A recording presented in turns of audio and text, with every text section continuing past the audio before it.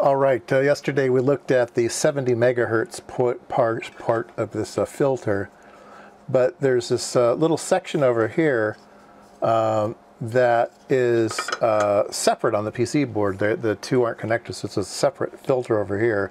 And it's a very simple filter. It's four capacitors and two inductors.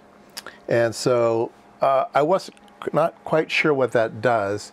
So let's take a look here give us some idea. Um, so obviously there's three little spikes here. There's this big giant one here, which you can, I think, throw out. Um, if we come over here, it's, it's at 850 megahertz. And I don't know why you would have such a broadband notch filter there. I think that's just an artifact. I think, I think this, this one here, uh, this little dip here is probably the one of interest. And it's dipping right around four, 245. Uh, let's see here, marker search, minimum search, next minimum left, there we go, 245.618. So I think that's what that filter is doing. It's a notch filter at 245.6. I, I don't know why this, you know, I don't know how the thing is used. I'm assuming the 70 megahertz is an IF, uh, is an IF filter.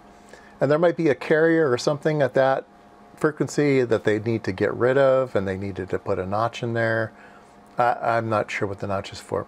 It's kind of unusual to have notch filters in radios and stuff, but I don't know where this came out of. And it's a prototype. Let's take a look at the uh, design of this filter. All right, this is it. Uh, it's kind of a T filter. Um, obviously, uh, AC can go through around this away and around this away, and then it's center tapped here to, so this is, this is the notch. When it's at a particular frequency, it's gonna kill those frequencies to ground. But yeah, strange, strange looking filter. I haven't run across one before. Uh, a couple of these uh, capacitors are 70 70 picofarads, uh, one on each side.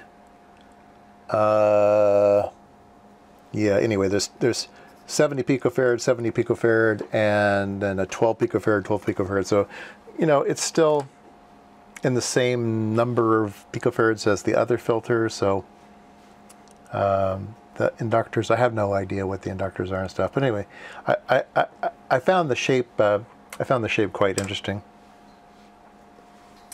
Uh, again, uh, this is the filter over here, so if you could ignore all of that stuff, this is the filter.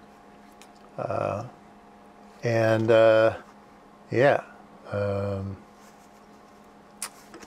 two filters in one box.